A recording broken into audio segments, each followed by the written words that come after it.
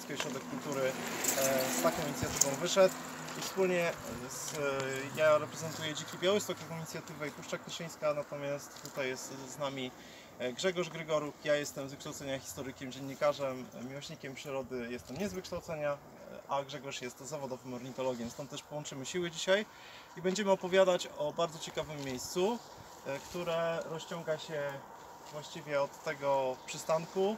Skończymy w Lesie Zwierzynieckim dzisiaj. E, Stąd też mamy do przejścia jakieś 7 do 8 km łącznie. E, Nie będzie tak jak wczoraj te osoby, które były, nie będzie takich obniżeń terenu i nie będzie tak e, falująco. więc- Ani gorąco. ani tak może gorąco. Natomiast chcemy, żeby ten spacer był taką właśnie okazją do tego, żeby poznać te fragmenty miasta, które są w mieście, a o których często nie wiemy.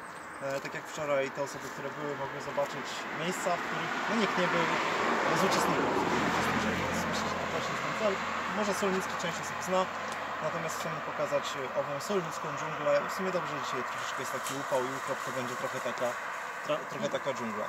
E, jeszcze chciałem tylko e, organizacyjnie, ponieważ e, Białostocki Ośrodek Kultury rejestruje to, natomiast jest tutaj z nami pan Rafał Kosno, który nie reprezentuje Białostockiego Ośrodka Kultury, więc jeśli Państwo mają problem, nie chcą, żeby wizerunek był utrwalany, to proszę to zgłosić panu Rafałowi, żeby każdy, no mówię, też dbamy o to, żeby te wszystkie prawne rzeczy były odpowiednio.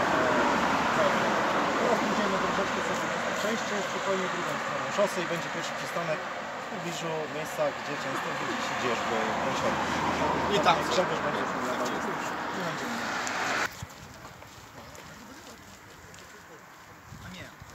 Teren budowy, zakaz wstępu, a to jest letnisko.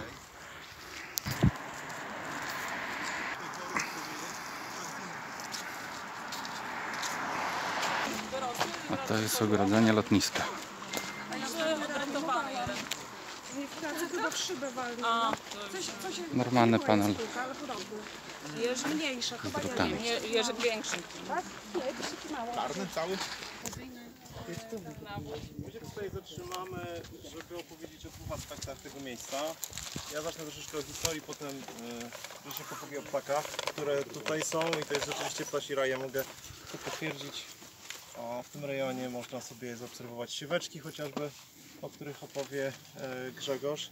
Natomiast e, nie wiem, czy zwróciliście uwagę, zwróciliście uwagę po drodze, e, mieliśmy takie dosyć mokre niecki. Jesteśmy na obszarze dosyć e, takim podmokłym. On został niestety przekształcony i nie ma tutaj w lesie solnickim poza częścią tam po drugiej stronie szosy za bardzo źródlisk. E, Jest tylko więcej takich e, jakby bagienek, które też już mają mniej tej wilgotności w sobie. Natomiast to pokazuje jak, jak ciekawy jest to obszar i stąd też to tłumaczy, o czym za chwilę jeszcze opowie e, Grzegorz, obecność chociażby sieweczki rzecznej, która nam się kojarzy z czymś mokrym. Tak samo czajka, prawda? E, Jeżeli coś już widzisz, to przerywaj mi. A na pewno... Czekam na coś takiego. Ja cały czas radę robię się mam Tak. Natomiast e, żeby opowiedzieć o samym, o samym miejscu, Krywlany, e, gdzie jesteśmy, prawdopodobnie pochodzą od nazwy miejscowości Krywe, jakiejś wsi, która gdzieś tutaj była. Jakie jest pochodzenie tego do końca nie wiadomo. Wiele jest takich nazw, które na, w naszym regionie są, ale nie wiemy jaki był ich początek. E, Natomiast e, same Krywlany jako miejsce są e, związane z lotniskiem od okresu dwudziestolecia międzywojennego. Przy czym to lotnisko zupełnie inną wtedy rolę pełniło. To było lotnisko aeroklubu w latach 20. Powstaje tutaj aeroklub białostocki. Nie ma to lotnisko takich wielkich wymiarów. Lądują tutaj niewielkie samoloty. Dopiero tuż przed II wojną światową były plany, żeby przebazować tutaj lotnictwo wojskowe. To się nie udało. Natomiast e, to realizują najpierw Sowieci, potem Niemcy. Niemcy zresztą e, w latach 40. tutaj też organizują nawet centrum pilotażu, kiedy front zaczyna się znów przesuwać na zachód, front wschodni.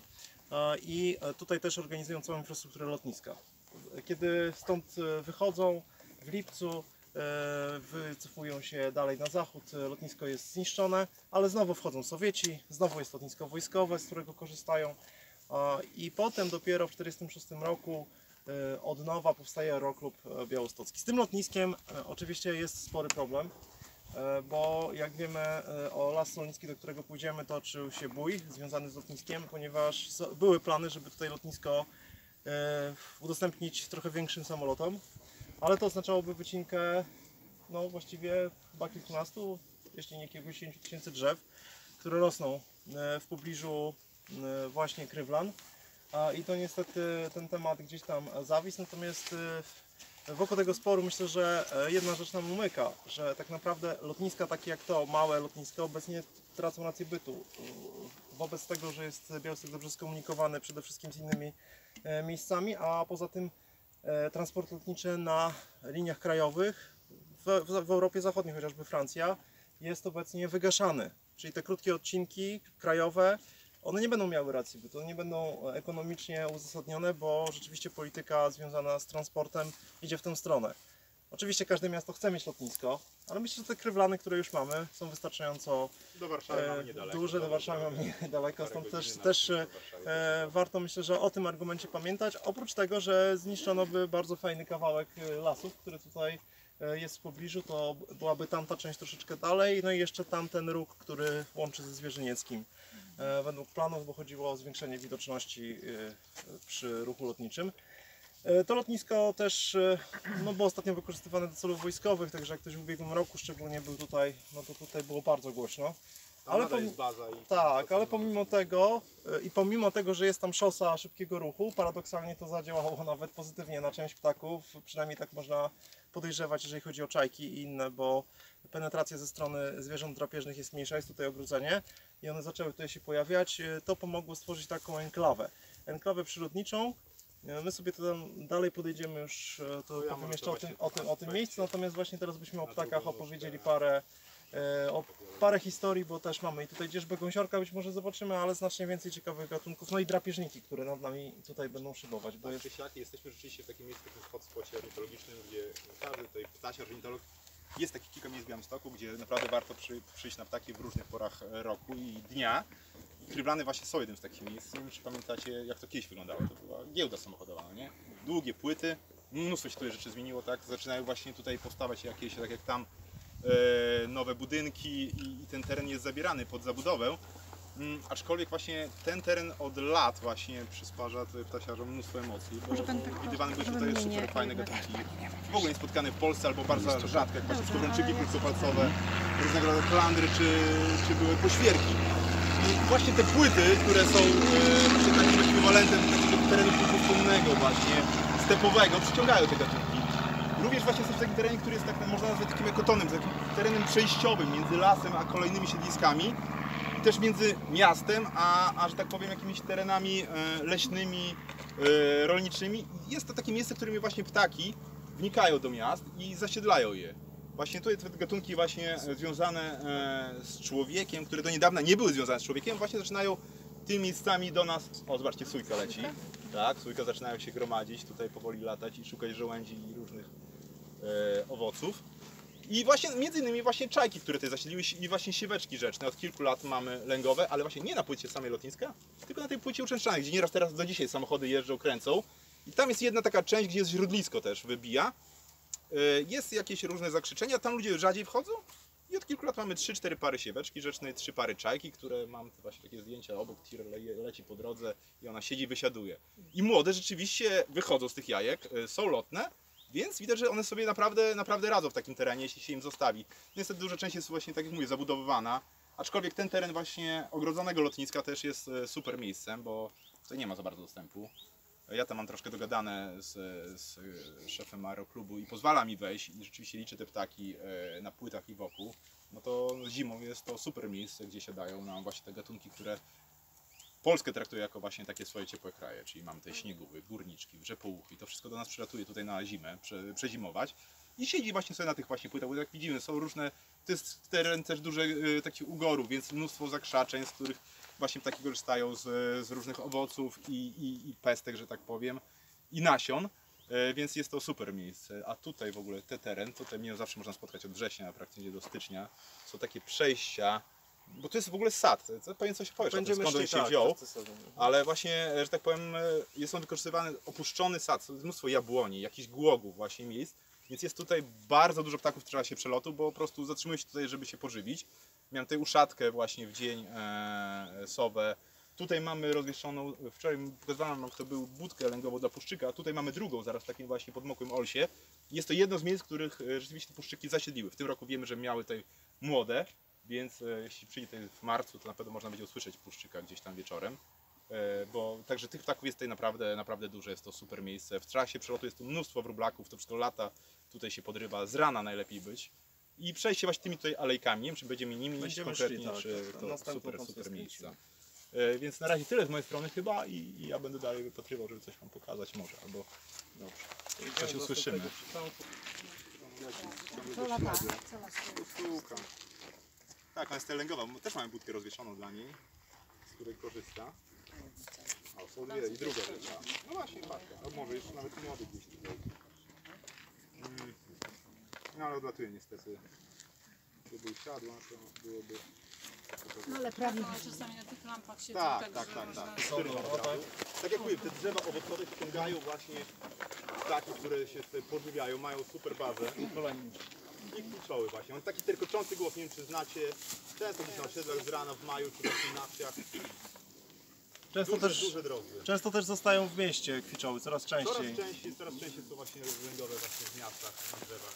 Także jak ktoś chce zimą pomóc kwiczołom, to może wyłożyć jabłka przykrojone na pół Na przykład. i one bardzo to lubią. Tak samo kosy zresztą. Ja się tutaj zatrzymałem, bo tak, po pierwsze mamy takie ślady obecności człowieka, czyli są tutaj pozostałości sadów, które jak widać przyciągają różne, różne, różne ptaki. I tutaj w ogóle ten teren, tak jak nawet dojeżdżaliśmy, on, on był użytkowany tak powiedzmy po, pod ogrody i pod działki. Część działek w ogóle tam jeszcze był taki moment, że jeszcze kilka lat temu się wiele osób jeździło, żeby wykopać z likwidowanych działek pewne rośliny i sobie e, wkopać. Ja nie byłem akurat w tej grupie, ale wiem, że sporo znajomych to robiło. E, Natomiast rzeczywiście e, jest tutaj taka mozaika, jest taka strefa przejściowa, ale zatrzymałem się też tutaj, ponieważ chcę opowiedzieć krótko o dwóch gatunkach, które e, są problemem dla przyrody. E, Ten żółty jest chyba jeszcze większym niż ten, który ma zielone liście. Mamy tutaj nawłoć, tak, która się rozprzestrzenia. To jest efekt tego, że z jednej strony się nie kosi regularnie tego, e, zostawiło się łąkę, więc być może w przyszłości jak wyrosną tutaj drzewa i przykryją tę nawłoć, to nawłoć oczywiście wtedy zniknie, ale to nie jest też wcale takie łatwe, bo nawłoć dosyć skutecznie blokuje inne rośliny przed e, wzrostem. Stąd też e, taka jej niszczycielska siła. A e, przyjechała do nas, no właśnie, bo komuś się spodobała w ogródkach. I przy ogródkach często sadzono, ładnie kwitnie, żółte kwiatki, no ale bardzo szybko uciekła. I obecnie jest to duży problem. W Polsce Północno-Wschodniej jeszcze najmniejszy.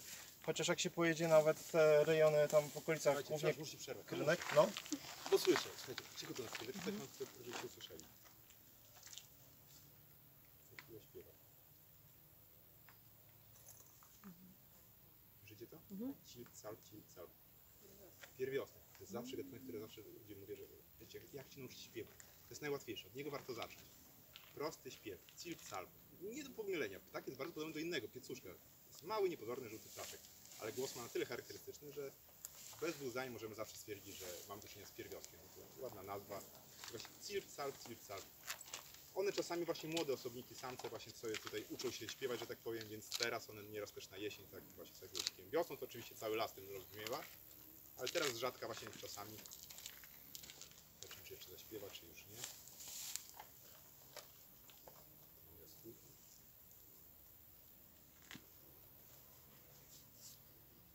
I wschodzący Białystok. Tor słychać, tak.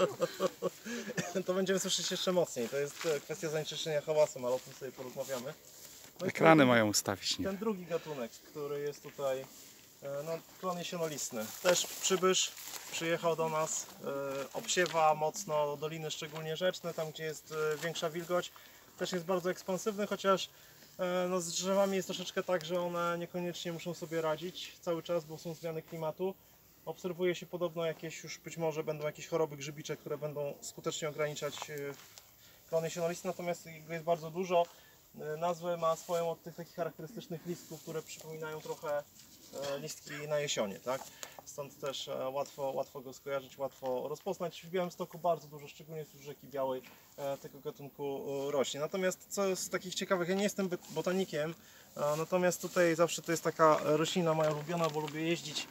Każdy, e, kto jest e, osobą podróżującą powinien e, powiedzieć, że to jest patron, patronka właściwie, cykoria podróżnik, tak?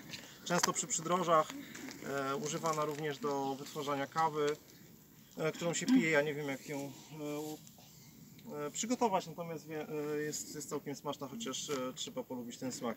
No i to, co jest niezwykle istotne, to te drzewa, które owocowe, które tutaj są, na co zwrócił uwagę Grzesiek, jeszcze e, ważnym takim elementem są takie drzewa, które e, ma, dziczki z jednej strony, ale e, gru, grusze takie zdziczałe, grusze polne. Natomiast mijaliśmy też po drodze ałycze, tak? czyli tą taką mirabelkę naszą popularną. Ptaki bardzo lubią takie zakrzaczenia, te szczególnie małe, bo można tam się ukryć i zrobić fajne gniazdko, które jest chronione. Tak samo na głogach. Stąd ja na przykład jak sadziłem u siebie takie ży- żywopłotowe pasy, no to właśnie głównie postawiłem na właśnie na, Nazwa e, na, na, na to i tam też często właśnie z kolei e, dzierżba gąsiorek swoje ofiary też e, nabija na, na kolce, także bo dzierżba To jest właśnie gąsi... takich właśnie tak. umarłych drzewach jakiś czas wydają i nakłuwają, jak to dziećby właśnie, jak zobaczycie kiedyś jakąś jaszczurkę nakłutą na jakieś drzewo, czy jakiegoś myszkę nawet, czy nawet, tak. to jest to świadczy, że obok jest właśnie I dzierżby ba- gąsiorka albo drugie dzierżby Gąsiorka samca bardzo też łatwo poznać, bo ma taką maskę Zorro, taką czarną na oczach, Wszystkie prawda? właśnie właśnie są to jest- takimi właśnie zbóje tutaj, że tak, Tak. powiem, to pasuje to. Także taki zbój Czarna, właśnie czarna opaska, właśnie zagięty dziób. łatwy do rozpoznania. No i tutaj też mijaliśmy po drodze jeszcze, m, później też będziemy te drzewa widzieć tam wcześniej. E, Bardzo fajne drzewo dziuplasty, e, zupełnie przez nas, tutaj też zresztą jedna jest za nami, e, osika z tego co widzę. E, Topelo osika jest bardzo fajnym drzewem, ponieważ e, ma miękkie drewno Tak, i ptaki dziuplaste uwielbiają tam właśnie robić gniazda. Także jak jesteśmy w ogóle gdzieś w lesie, jest sośnina, nawet taka zupełnie już przeorana, posadzona przez człowieka i gdzieś się pojawią e, osiki, to w tym roku właściwie praktycznie było zawsze tak, jak chodziłem po lesie, 70% szans, że będzie jakiś dzięcioł i dziupla. No, E, W takim właśnie lesie już e, bardziej podmiejskim. Stąd też osika jest bardzo fajnym drzewem. Ona nie jest e, długowieczna, natomiast jest bardzo ważna z punktu widzenia ptaków. Nie jest walić twarde drewno Tak. głowę jak można trochę. tak, dokładnie. I też nie jest faworyzowana w gospodarce leśnej, bo to nie jest takie cenne drewno, wykorzystuje się go głównie. Teraz już raczej z wampirami się nie walczy, bo były kiedyś kołki osi, osikowe, prawda? Ale to zastosowanie jest mniejsze, natomiast osika głównie do kominków tam się przypala, ona przypala sadzę, bo bardzo szybko się zapala, nie jest kalorycznym drewnem, natomiast używa się do tego i do pieców w ogóle, do kominów, natomiast no fajnie jak rośnie, nie tylko drzewo nie jest tylko po to i nie rośnie tylko i wyłącznie, żeby gdzieś pójść do komina bądź na e, taboret. E, No i te osiki też są bardzo e, fajnym drzewem z punktu widzenia jeleniowatych, które też tutaj występują, chociażby łoś, bo łoś lesie właśnie solnickim sporo, jest. mówiłem wcześniej, że jest sporo strzyżaków. Na szczęście na razie nas nie atakują, ale za 2-3 tygodnie będzie ich tutaj mnóstwo, byśmy tak nie stali, bo rzeczywiście teraz chodzę we wrześniu, październiku, to atakują dosyć, dosyć zwartymi stadami. Właśnie się wiąże to pewnie to z tym, że są właśnie są jeleniowate, dziki tutaj występują, a są owoce, więc przychodzą tutaj, a za nimi strzyżaki. A wiedzą panowie, może gdzie są teraz te dziki, bo kiedyś, ja w Wolmontach mieszkam, kiedyś ze dwa razy w tygodniu widziałem i stado dzików i Pójdziemy w takie miejsce, łosi. pójdziemy w takie Jest miejsce, gdzie są regularnie. Troszkę się odradza po tej z- rzezi, że tak powiem, przed paru lat. A co to właśnie się stało parę lat temu, że... No chodziło ten ASF, także postanowiono, że walką z ASF-em będzie wybicie dzików przed Aha. tą chorobą w strzonie. A aczkolwiek widzieliśmy jak to wygląda, myśliwi strzelali, później to roznosili te mięso i tak naprawdę sami prawdopodobnie te ASF roznosili, że te dziki sobie chodziły gdzieś, że one do obór nie zajdą. Znaczy to trochę przypominało akcję w Chinach, tak, że zabijamy wszystkie wróble, tak? Tak. E, No i potem były tego konsekwencje, no zabijając dzika zabiera się bardzo ważny gatunek, bo tych ssaków wcale tak dużo nie mamy w lesie. To jest A taki dzik był dosyć lasu liczny, tak, a on czyścicielem lasu był wszystko właściwie tam. On jest też ważny, y, jeżeli chodzi o wyjadanie pędraków, które są, które y, różnych y, owadów, które uznawane są y, przez osoby hodujące las za szkodliwe, bo to szkodnik no to właściwie to jest takie, ja zawsze mówię, takie określenie trochę e, no względne, no bo z punktu widzenia przyrody być może homo sapiens też jest wielokrotnie i myślę na pewno szkodnikiem, tak, więc e, co jest szkodliwe? Właśnie, co w lesie jest szkodliwe? Jak ja słyszę, że jakieś owady są szkodliwe, no ale te owady są tutaj znacznie dłużej niż człowiek, który urządza ten las, sobie tam zasadza, wycina i tak dalej, ale to właśnie wynika z tego, że tak trochę chyba traktujemy e, las jak taką grządkę wiele osób traktuje, jak trawę leśną. E, I to jest myślę, to myślenie. Ono, ono myślę, że z czasem się zmieni, mam nadzieję, przynajmniej trochę.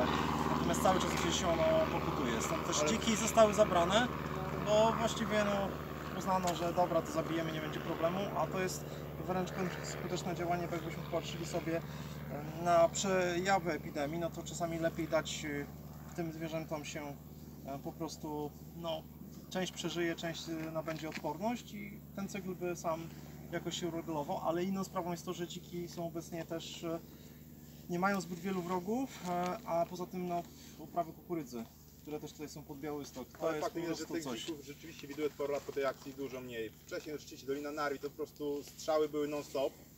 I później przez rok, praktycznie dwa, w ogóle dzików nie widziałem. Teraz ostatnio od roku rzeczywiście widuję coraz częściej. I najczęściej właśnie w okolicach miasta, bo w ogóle w samym mieście. Gdzieś na samych obrzeżach. Tutaj się tak do nich nie strzelało. Tutaj czuję się pozornie bezpieczniej jednak e, blisko siedzib ludzkich. e, niż gdzieś w terenie, gdzie do nich się strzelano po prostu. Tam rzeczywiście dość skutecznie wyeliminowano dużo populacji.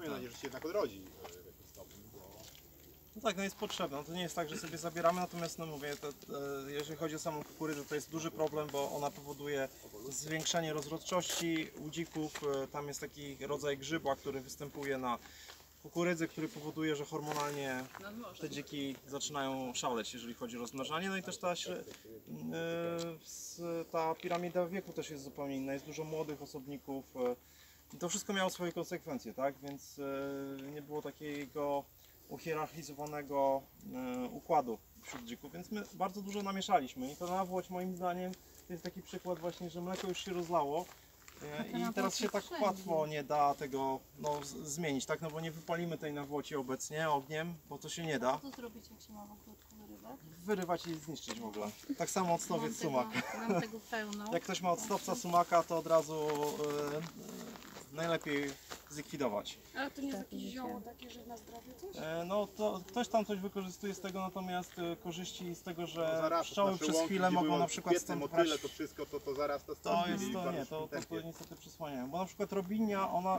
jest problematyczna, tylko że robinia jest z nami znacznie dłużej. To popularna akacja.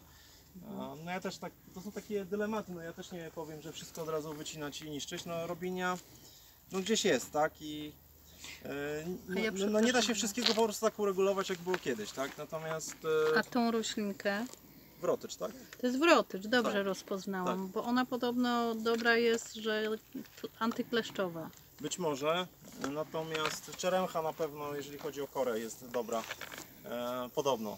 Podobno, bo nie, nie, nie testowałem nigdy. Najlepiej zawsze się obejrzeć. Jak mi dobrze. siostra mówiła, że podobno, że to, że to trzeba Natomiast sobie właśnie w no, ogródku posadzić, jak się ma e, zwierzaki. zniknie, jak będzie dużo nawłoci. A ona tu ewidentnie jest w właśnie. ekspansji. Z roku na rok jest coraz więcej. Też właśnie innym gatunkiem takim właśnie zawleczonym, właśnie e, nie naszym, a i też takiej właśnie nieprzemyślanej ludzkiej, że tak powiem, e, działalności jest właśnie barszcz ostrowskiego, który można podziwiać, e, pięknie rośnie w okolicach grądu wonieckiego, gdzie kiedyś właśnie były wielkie łąki, krowy były, więc, e, więc myślano, że tym właśnie barszczem ostrowskiego da się te krowy nakarmić, jakoś będzie to jakaś wydajna roślina.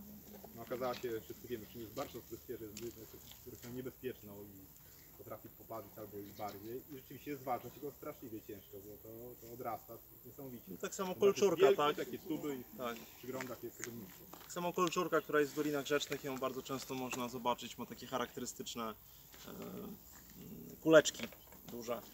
Ona oplata te wszystkie rośliny i to jest też duży problem.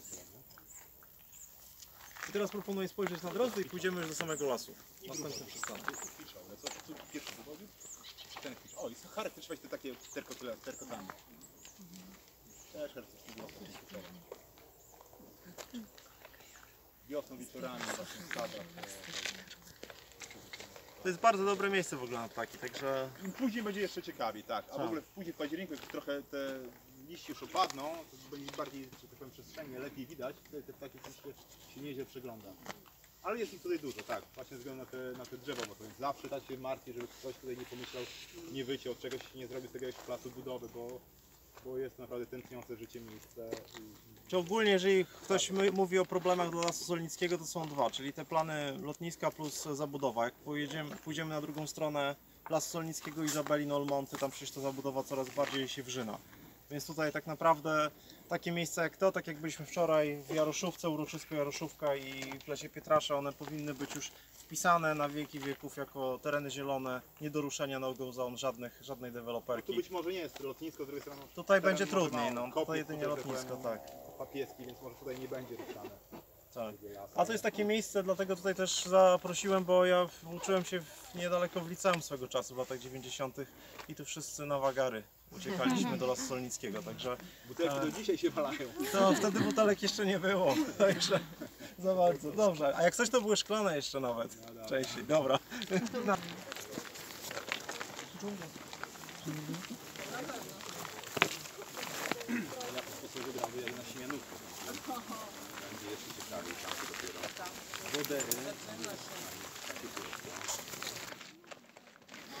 To jest droga do Kopca Kopieckiego.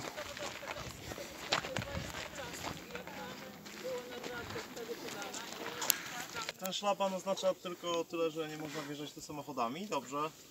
Ja Myślę, że las powinien w ogóle, ten zakaz obowiązywać wszystkie samochody. Jak najmniej dróg w lesie, wtedy jak najmniej osób, które chcą nabałaganić.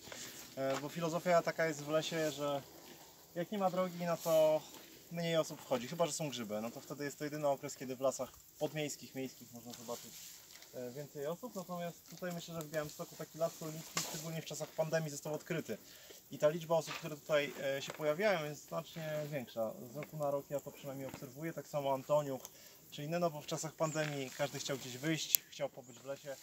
I to jest ta funkcja lasu. I dlatego mówiąc o funkcjach lasu, wydaje mi się, że to powinno być jakoś zapisane już w całej Polsce. O, tam Grzesiek, chodź, chodź powolutku, bo mamy tutaj bardzo fajnego drapola. Chodź, chodź, nie, nie ten.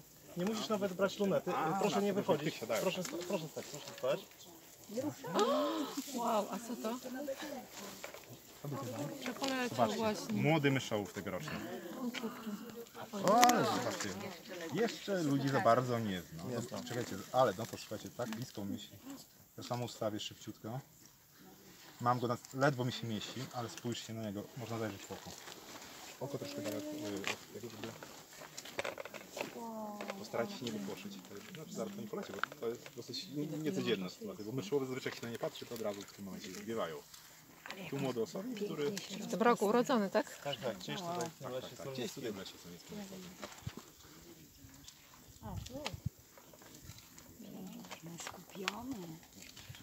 Ale on ma już taki rozmiar ptaka dorosłego? już jest zbliżony, tak? Jeszcze może, jeszcze tak z 2-3 tygodnie temu to one się często odzywały, jeszcze wzywając rodziców. Bo powiesz wszystkim, to... No pewnie też tylu ludzi nie widział nigdy. No nie, też pewnie to jest dziwota, nie? Musiał sobie popolować, oczywiście na płotku, bo dobre miejsce, żeby popolować tutaj od... blisko roślinność. A to polowanie na niego.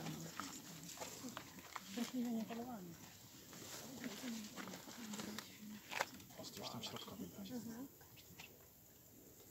No, ale w to jest najmniejsze powiększenie. Można dodać większe, to wtedy byśmy tylko oko oczywiście. Nie ma chętnych więcej? Dobra, co można pokombinować? Można go jeszcze... Znaczy, czy dać więcej, to już jest przeginka totalna. No dobra, ale zobaczcie teraz. To, to już jest pełen kadr.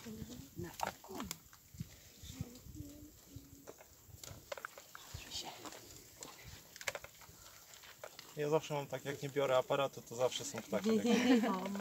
Spojrzał na wprost na mnie. W oczy spojrzał. Rozżali iść dalej, bo odleci. Oczy drapola. Ależ on jest, jaki skręt ma. O, paluszek ma, Pazurki. pazurek Jakie ma. kurcze.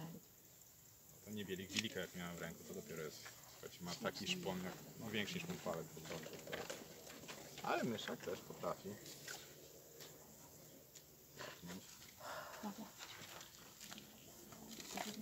No patrzcie, One są też dosyć wokalne, jak latają. Łatwo rozpoznać myszołowa po takim głosie zawodzącym lekko. Tutaj niedaleko mamy inny gatunek drapola, bardzo rzadki, w ogóle białystok z tego. Opowiemy o nim w Zwierzynieckim. No to potem później dobrze. Mogę się napatrzeć, ale dobra.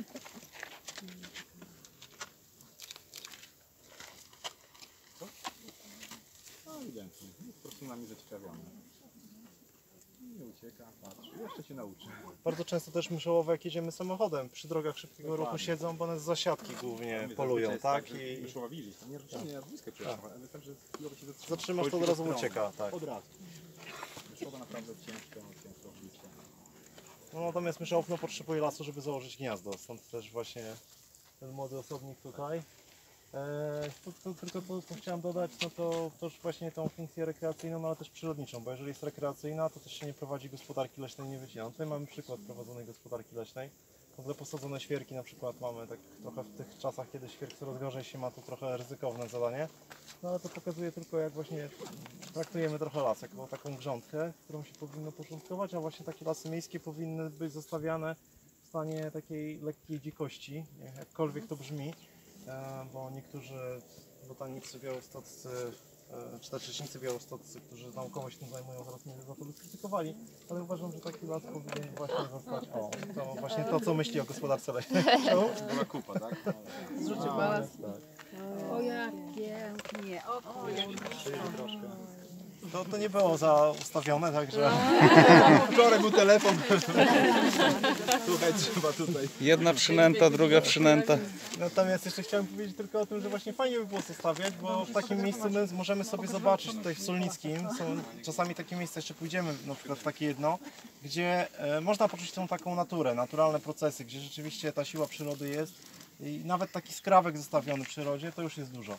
Bo w Lesie Solnickim o tym jeszcze opowie yy, Grzesiek później, pójdziemy w takie miejsce.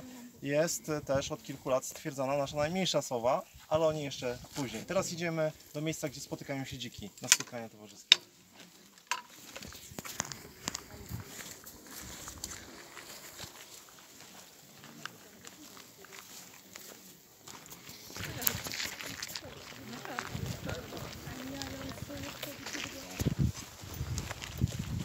sobie zostawić.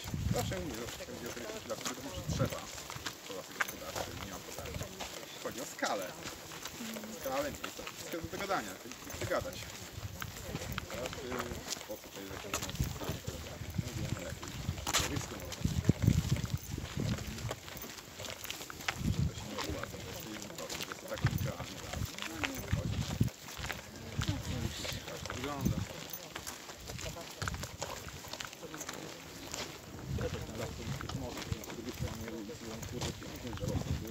Też wycinki całkowicie zaorane jak pole kukurydzy.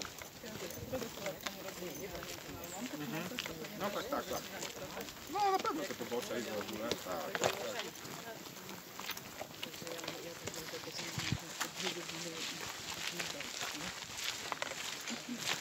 Wiem, że mogę to kontaktować Ja widziałam taką znajdę miesiąc temu, to ona jest tylko posłużowa do, do, mieszk- do, do domu się boi wchodzić. Ja jestem kociarz, więc tak samo, ale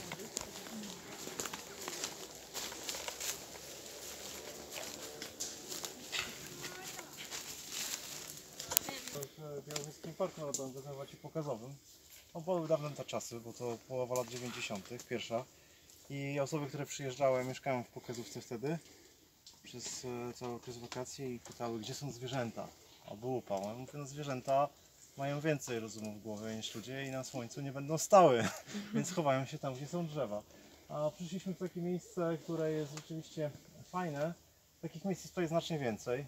A ja wybrałem takie, do którego jest w miarę łatwy dostęp. Z jednej strony, żeby wyjaśnić dlaczego w Solnickiej dżungli, bo to co mamy ze sobą to jest taki ols właściwie. Mamy tutaj głównie olsę czarną, mój ulubiony gatunek. Powtarzam to na każdym spacerze, niektóre osoby już słyszały.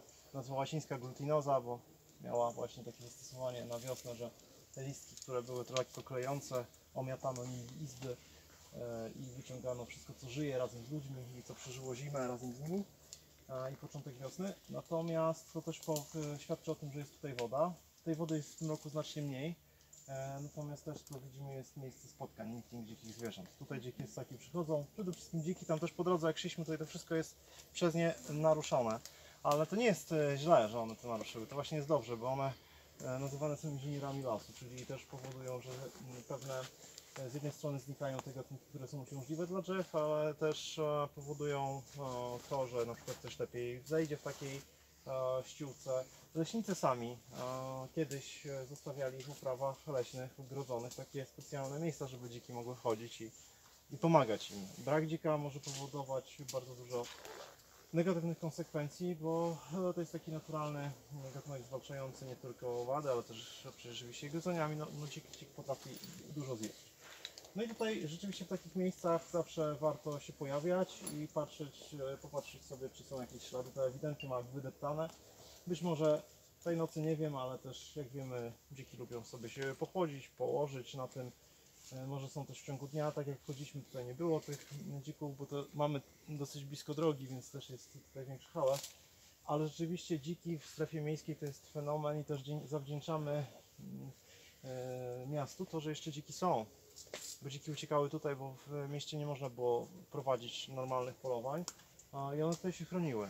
No i to też ma swoje konsekwencje, bo nie wszyscy na przykład zabezpieczają śmietniki, dziki zaczynają się żywić, e, podchodzą blisko człowieka.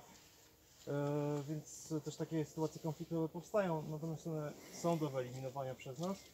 No fajnie, że w tym lesie stronickim te dziki są. Jeszcze jeden gatunek, który tutaj się pojawia i który wychodzi na fotopułapkach, e, które Paweł Miejski z Komitetu Ochrony Orłów tutaj porozwieszał e, w lesie stronickim, to jest łoś. Łoś tutaj występuje, łoś jest, łoś bytuje. Pojawia się tutaj co najmniej jeden osobnik w tym roku w tym rejonie, bo też ma bardzo fajne, fajną mozaikę, bo e, to nie tylko tutaj las, ale też są takie kawałki od, od, otwartych e, przestrzeni e, w lesie, e, takie lekko zabagnione i to łosie lubią najbardziej. E, To jest takie miejsce, e, gdzie łoś sobie znalazł też taką ostoję siedlisko, chociaż sam las solnicki ma łącznie około 700 hektarów. To nie jest może aż tak wielki obszar, ale jak widzimy przyciąga różne gatunki. I te olsze, które tutaj są, bardzo też lubione przez ptaki i tutaj może Grzegorz parę jeszcze słów o samym olsie. Jest bardzo, że nieraz widzimy filmiki jakieś w internecie właśnie z fotopułapek, to właśnie z takich miejsc przewodnicy zostawiają w takich miejscach, właśnie w różnych zabagnieniach, bo wiadomo, że tutaj przyjdą właśnie jakieś, jakieś ssaki, jakieś ptaki, aż tak jest woda, żeby się ochłodzić. I mamy właśnie takie widzimy, bogaty typ potrzeb. Wiele gatunków drzew, y, z tego oczywiście korzystają ptaki. W takiej drągowinie sosnowej mamy jakieś zięcioła, jakąś ziemię, prawie nic więcej. Tutaj żeśmy byli te no, dwa, trzy miesiące wcześniej, dopiero usłyszeli naprawdę koncert pewnie kilkunastu gatunków w tym jednym miejscu stojąc. Teraz było dzięcioła, właśnie e, rudzika, rudzik idealne miejsce, czyli takie właśnie gęste, gęsto podszyte strzyżyk często w takich miejscach. Tu się odzywał taki terkoczący głos chwilowy, będę nawet tłumaczył jaki tam tego, ale, ale był właśnie. Takie miejsca e, blisko dróg, gdzie warto czasem zejść, naprawdę są enklawami i warto takie miejsca chronić i zachowywać. Bo korzysta z tego naprawdę cały zestaw, zestaw gatunków, i zarówno ssaków, ptaków, roślin różnego rodzaju, więc, e, więc no jest to są super miejsca. Jak macie jakieś miejsca, fotografie czasem warto zobaczyć, to jest też taka bezinwazyjna, tak powiem, metoda podglądania zwierząt. Przecież potrafią ginąć jesienią, szczególnie jak jest okres grzybobrania. A potem, tam gdzie są zrzuty, to z kolei ci, co szukają zrzutów, bardzo Tak. często przytulają. te- Chociaż tutaj to nie dotyczy tego miejsca. Tego typu może naprawdę fajne filmiki, te zwierzęta zachowują się naturalnie w takich miejscach. Więc taka pułap- Fotopułapka rzeczywiście fajna, fajna robota też robi. Dużo możemy się dowiedzieć nieraz na słuch, czy właśnie gatunki, które, które bytują bardziej w tej porze nocnej, więc nie mam szansy tego zobaczyć. W łapkach nieraz wszystko widać, czerwień. To jest taki też skrawek właśnie lasu solnickiego, który pokazuje nam, że możemy mieć właściwie w zasięgu ręki bardzo fajny kawałek takiego dzikiego lasu. Nie trzeba jechać do Puszczy Białowieskiej, e, która no nie jest w sumie daleko, ale mamy tutaj rzeczywiście taki, taką namiastkę lasu, który tutaj pozwolono temu o, skrawkowi się urządzać. On sobie y, funkcjonuje swoim trybem póki co. No, miejmy nadzieję, że te drzewa dalej będą rosły. Mamy i ładną tak. rzeczywiście mam tutaj miejsce bardzo podobne czyli właśnie do tego zabawienia, gdzie mamy właśnie lęgową suweczkę, praktycznie w mieście, jeszcze drugie takie miejsce, również. Mamy suweczkę, jest malutka sowa tego rodzaju, taki mały drapol, ptaki bardzo mocno reagują, nieraz właśnie wystarczy pogwizdać, ptaki reagują, potem też można poznać, że jakaś suweczka w danym miejscu ma lęk, gdzieś tutaj siedzi, i się bardzo niepokoją, bo potrafi złapać znacznie większą ofiarę od siebie, ale jest to rzadki gatunek, a mamy go w mieście tak naprawdę, więc właśnie woda, y, jakieś właśnie różne gatunki drzew, y, gdzie są drzewa dziuplaste, z których dzięcioły robią właśnie te dziuple, a subeczka z nich korzysta, właśnie są bardzo cenne. No tu zresztą mamy też piórko, tylko to Grzesiek może ocenić co to jest. może zobaczymy. Nie, to nie jest e, drapolaj. A wiesz co, wygląda trochę na bażanta. O, Tak jak na tutaj? No właśnie tak tego, ale tak, tak nie wygląda. Chyba, że jakaś, jakiś ptak, może słonka, y, trzeba zobaczyć właściwie tego. tego Poinformujemy na dzikim białym Poinformujemy. Tak, że Grzesiek zidentyfikuje. Ja niestety Może być słonka. rzeczywiście. mogę tylko sójki te niebieskie zidentyfikować bezbłędnie, a pozostałe to jestem noga w tym. Ale zobacz, właśnie ptaki. Jest, jest jak się troszkę wody, trochę zabagnienia, więc tutaj, tutaj właśnie się przygotuj. Zostawiałeś ślady, czy śladów właśnie na błocie. Jest tutaj jakiś leży o gołębie mamy. A przepraszam, czy ktokolwiek słyszał, żeby dziki skrzywdziły człowieka? Spokojnego? Czy zdarza się, że są mają młode, czym się najdziemy na nie, to potrafi z- dzik zaatakować oczywiście, czy jakiś postrzelony z nim. nie? Albo To z dziwi psem takiego idąc na przykład tak jak w Pryncy Morskich, gdzie te dziki, dziki są oswojone, no to no może być, no ale jest to, to jest trochę, pamiętajmy atak, y, to nie jest atak, to jest obrona, Obrona, de facto, tak, tak? No tak. bo jak podejdziemy do samca sarny w okresie, kiedy on ma swoje gody, to to był to lipiec, e, sierpień, a i podejdziemy za blisko, no to może też e, nas Uznać to e, za przeatakować, tak? Zazwyczaj jest to właśnie jakiś taki podbieg rzeczywiście, który Tak. daje, one zawsze gdzieś tam się No tak, zatrzymają. A chodzi o to, żeby rzeczywiście, jeśli zagrodzimy im te miejsce, jakieś ucieczki, czuje się zagrożony, będziemy się normalnie zachowywać, nie będziemy ich podchodzić w jakiś sposób. czy- Zasada jest jedna, nie podchodzić po prostu do dzikich zwierząt, tak? Jak widzimy, obserwować z daleka. E, Nawet kot domowy ma też swój taki strefę komfortu, tak? I do łosi gdzieś na tym, czy do Tak. niedźwiedzia nawet potrafią Tak. tak. może ludzie robić zdjęcia, żeby to jest to głupie. a potem uciekają bez koszulki. No To, dobrze, a co zrobić jak zobaczymy? No nie podchodzimy i co? no i odwrócić się, oddalić albo przejść obok po prostu. Także raczej zwierzę normalnie nie będzie czekało i, i stało w nieskończoność na drodze, którą idziemy. Raczej sobie pójdzie dalej, bo Nie, zazwyczaj to zwierzęta nas dużo wcześniej widzą, to, to się zawsze sprawdza. Gdzieś tam tego, dużo wcześniej nam zejdą z drogi, to są wilki. One są nieraz gdzieś po Puszczy Łowieckiej chodzimy, są gdzieś w dużo wcześniej zejdą, nas słyszą, czują. Raczej nie ma opcji, że... że, ja zawsze powtarzam, że no tutaj no najgroźniejszym gatunkiem jest kleszcz, tak? Tak, tak. który mamy. Najmniejszy, naj, najgroźniejszy. Zawsze powtarzam też, poluje rzeczywiście. tak, że to też nie Tasmania. Jak byliśmy na Tasmanii kiedyś, to właśnie czekaliśmy ponad godzinę, aż to takie, akurat był okres e, takiego pobudzenia mocnego. E, Te węże, no, tajpany się nazywają bodajże jakoś tak. W każdym razie one sobie siedziały, po prostu były tak rozłożone na jednej ścieżce. Było pytanie, czy schodzić w bok, gdzie mogą być inne, czy czekamy. I czekaliśmy, bo nie było innego wyjścia. Że ponad godzinę czekaliśmy, aż sobie zejdą ze słońca. No wyszły na słońce, chciały się wygrzać. Są też, e, no nie, nie mamy takich tutaj ekstremalnych sytuacji, póki co. I też e, przestrzegam przed komunikatami e, alarmistycznymi, bo ostatnio przodują w tym e, niestety media polskie i powtarzają to, co ciekawe, za lasami państwowymi. Słynolica krówka, taki chrząszcz duży. Już po kolejny rok grzeją wszystkie portale, że jest że śmiertelne niebezpieczeństwo. No kurczę, no naprawdę trzeba by było mieć garnek nieszczęścia, żeby ta olejca zabiła człowieka. Ale to się klika, tak? E, Jest dużo takich bzdur, które się pojawiają. No Oczywiście pojawiają się gatunki, które e, mogą e, ukuć i to może być bolesne, chociażby kolczak, pająk, który przychodzi do nas z południa. On głównie bytuje w takich strefach zacienionych, piwnicach, tam gdzie jest człowiek najczęściej. No i on może przykuć, tak? No ale on jest, tak? I, to ja zawsze mówię, że no, klecanka, taka osa, która jest z nami od dawna i która robi sobie takie gniazdka charakterystyczne na ściupach trawy. Ja Kiedyś też jak zbierałem grzyby, maślaki w trawie, no to sobie po prostu, no nie, nie wiadomo skąd jak uwaliła, no to właściwie przez tydzień e, no, nie mogłem, nie miałem palców, tak? Ja mogę no, powiedzieć, że można. to ptaki nas nam krzywdy nie zrobią. Tak. Nawet największe orły Taki, i ligi czy przednie nie zaatakują człowieka. nie zrobią krzywdy i się nie z ptakami.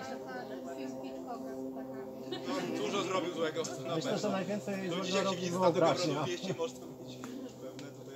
Najwięcej robi wyobraźnia, natomiast no, na pewno nie można bagatelizować kleszczy, tak? No bo to jest duży problem i rzeczywiście one są, e, są problemem i rzeczywiście być może jest ich więcej, nie wiem, bo nie mamy też badań porównawczych, czy było kiedyś więcej przypadków boreliozy, no diagnostyki nie było, wiele osób chorowało.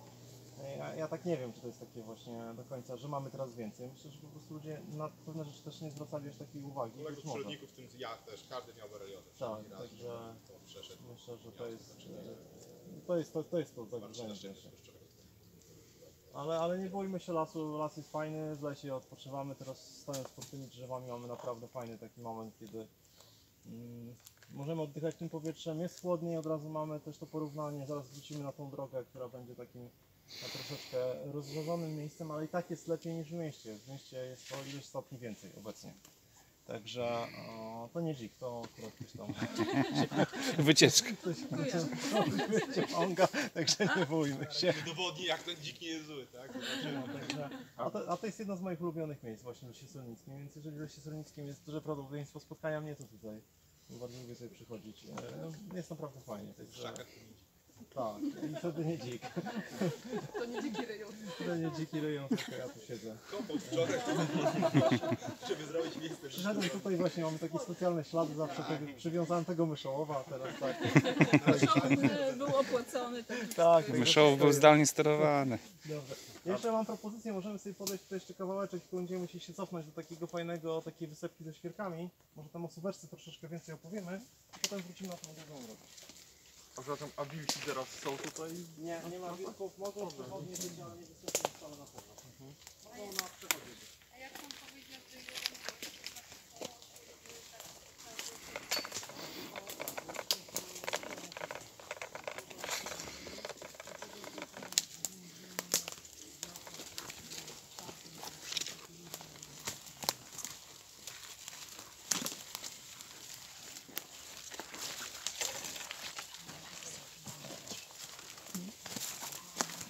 Pani.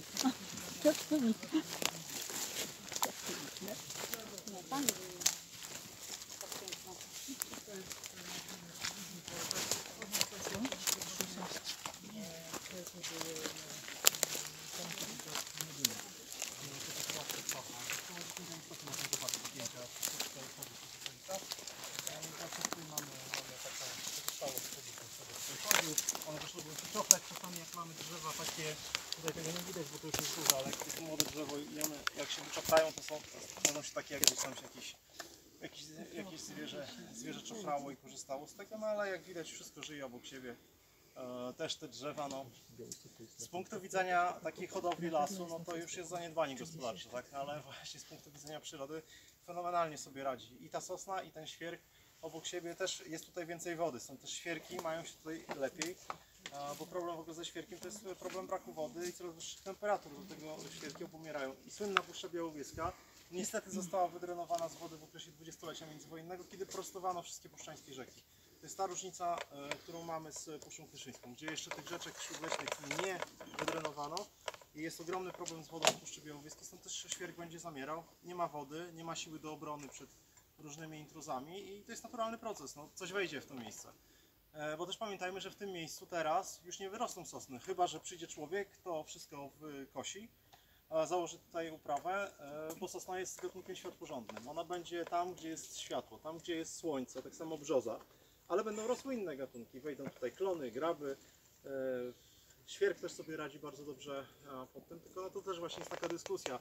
I chyba odpowiedzi na to nie ma e, dobrej, bo jedni będą mówić, a to trzeba, bo tej sosny mi żal. No ale sosna to jest typowy gatunek pionierski. Ona wchodziła właśnie tutaj w Puszczy Knyszyńskiej, gdzie były obszary ogromnych pożarów i tam bardzo szybko wchodziła e, sosna. Co więcej, sasanka, słynna sasanka otwarta, ona jest związana z miejscami przekształconymi przez człowieka.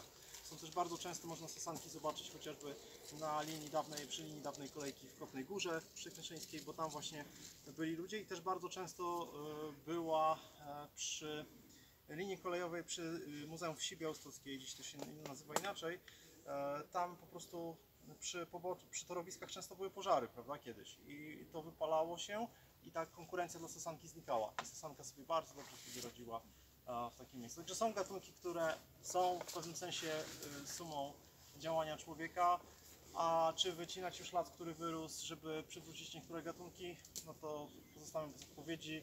A Ja swoją odpowiedź znam, ja bym zostawił i niech sobie tutaj rośnie, niech dziczeje, bo jest fajnie. I dzięki temu też e, mamy takie miejsca, których jest, y, jest niewiele, a zaraz zobaczymy jak wygląda też